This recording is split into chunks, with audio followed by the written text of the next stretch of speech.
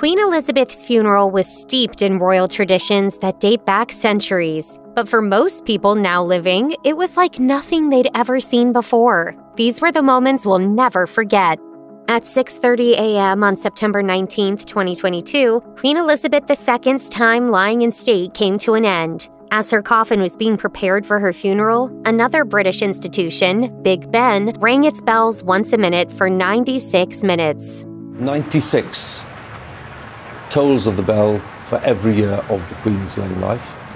Once that tribute was over, the Queen's coffin was loaded onto the Royal Navy State Funeral Gun Carriage and pulled through the streets to Westminster Abbey, where her state funeral was held. The use of the state funeral gun carriage was just the first in a slew of traditions throughout the day. Rather than being dragged by horses, the open wagon is pulled by dozens of members of the Sovereign Guard, who, generally speaking, are less easily spooked by crowds and therefore less likely to accidentally topple the coffin. The procession was visually stunning. The Queen's coffin, which was covered in the vibrantly colored Royal Standard, was surrounded not only by the members of the Royal Navy that were pulling the cart, but also by members of several other branches of the military and Royal Guards. As Queen Elizabeth's coffin neared Westminster Abbey, members of the royal family joined in the procession, walking just behind the gun carriage. As expected, King Charles and Queen Consort Camilla led the charge. Behind them were William, Prince of Wales, and Catherine, Princess of Wales. The couple, who are now first in line to the throne, brought a pair of surprise guests their eldest son, Prince George, who is now second in line to the throne, and their daughter, Princess Charlotte, now third in line. Seeing as George is nine and Charlotte is seven, the children weren't expected to be present for the day's events. As The Guardian reports, grandchildren and great grandchildren usually don't have a formal role in a monarch's funeral. But due to the Queen's unusually long reign and the monarchy's desire to project an air of stability, it's not shocking that the family chose to break this particular tradition.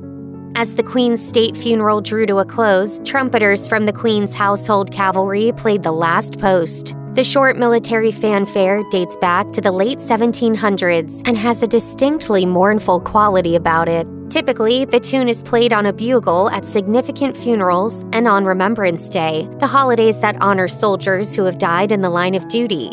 In this context, iNews reported that it signified the fact that Queen Elizabeth's duties were officially done and she could now rest in peace. Following the song, the entire country observed a two minute silence in memory of the monarch, more typically, we're used to observing a single minute of silence. However, the extended two minute meditation isn't completely unprecedented. In the UK, two minutes of silence are observed nationwide every Remembrance Day. It is thought that Buckingham Palace settled on two minutes instead of one as a tribute to the Queen's exceptionally long reign. Whatever the reason, it was certainly memorable to see an entire country stop what they were doing to honor the life of an individual who had dedicated hers to them. To close Queen Elizabeth's state funeral, congregants sing the national anthem, God Save the King. According to the royal family's website, the author of the anthem is anonymous, while the anthem itself likely dates back to the 17th century. That being said, the anthem has been performed slightly differently for the last 70 years, with residents proclaiming their loyalty to a queen rather than a king. This performance, then, marked the first time in nearly a century that the crown's subjects had used the masculine title in the anthem. Hearing the change seemed to have a profound effect on King Charles, as the monarch openly grew teary eyed as attendees sang. Whether it was because he was mourning his personal loss or because the enormity of his new role was finally sinking in, we can't be sure. But it was a very humanizing moment for the leader, who, up to that point, had portrayed the stereotypical stiff upper British lip when appearing in public. Prior to that moment, the only other time that King Charles had hinted at his emotional state was in his Ascension speech, when he said, I know how deeply you, the entire nation, and I think I may say the whole world, sympathize with me in the irreparable loss we have all suffered. As Queen Elizabeth's coffin departed Westminster Abbey for St. George's Chapel, attention turned to the wreath that sat atop her coffin. According to ABC News, it was King Charles who picked the flowers that were incorporated in the wreath, and many of the included varieties had particular significance for both the Queen and her family. Topping off the wreath was a handwritten note from King Charles that read, In loving and devoted memory, Charles R. The R, an official part of the king's new signature, stands for the Latin word rex, which translates to king. I shall endeavor to serve you with loyalty, respect, and love. Nearly three hours after her state funeral ended, Queen Elizabeth II's coffin arrived at Windsor Castle, which is her final resting place. Hundreds of thousands of people lined the 20 mile route, hoping to catch a glimpse of the specially designed hearse that carried the monarch and to witness a piece of history firsthand. But before she was interred in the King George VI Chapel, there was a committal service in St. George's Chapel to be had.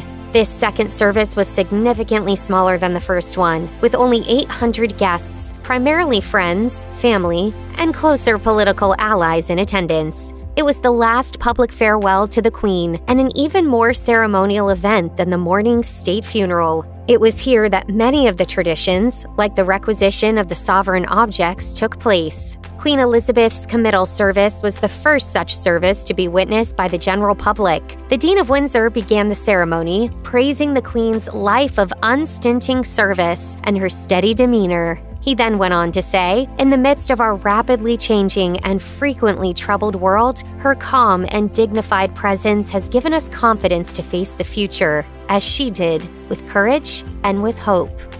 Queen Elizabeth II was a notorious animal lover, so it should come as no shock to royal watchers that some of her pets were included in her funeral.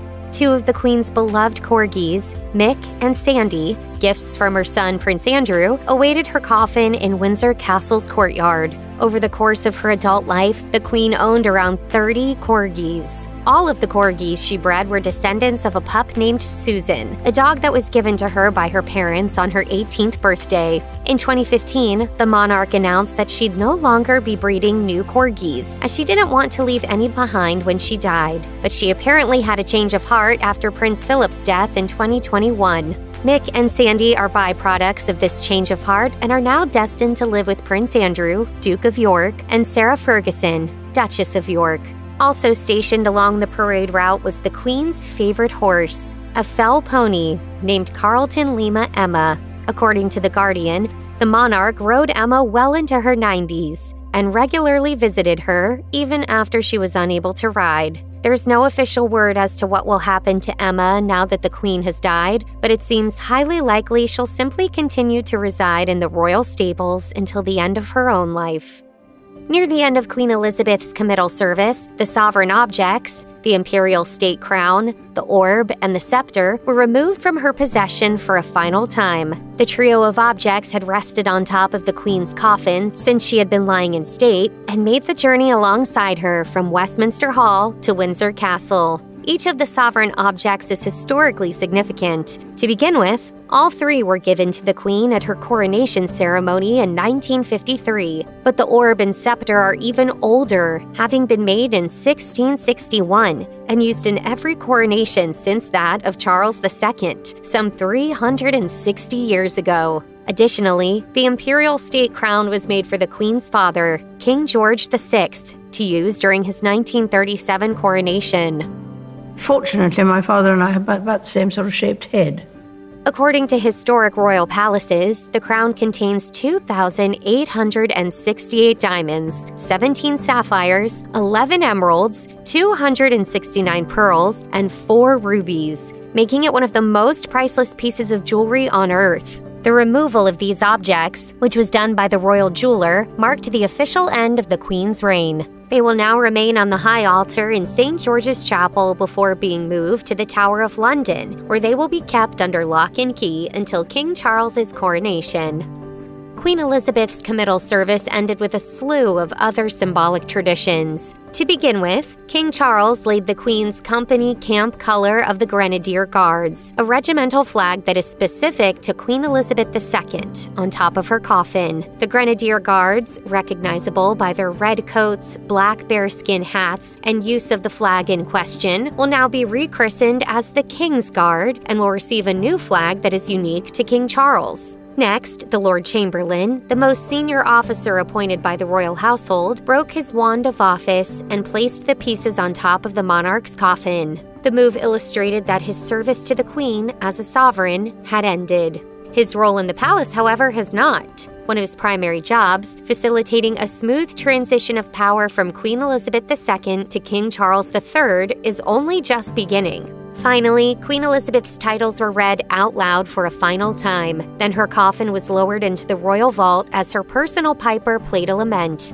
For most of her reign, this piper woke the queen up every morning, playing bagpipes outside her window for 15 minutes at a time. At Queen Elizabeth's request, he now played her to sleep one final time. As the notes of A Salute to the Royal Fendersmith rang out, the piper wandered away from the primary chapel, allowing the music to fade as the queen's coffin disappeared from public view.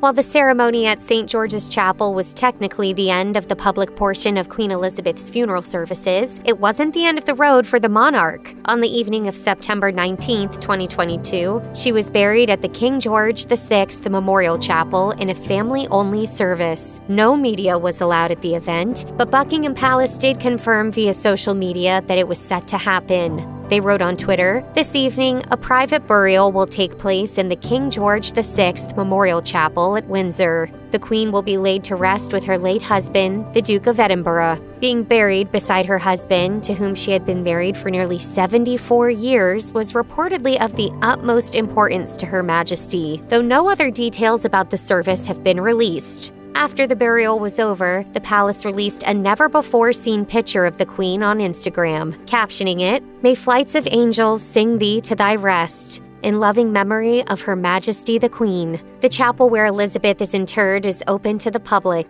and people who wish to pay their respects will be able to do so at any point in the future.